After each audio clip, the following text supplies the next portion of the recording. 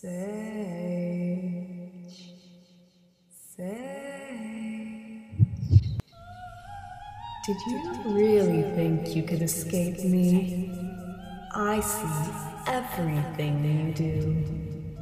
I know you've been using new magic.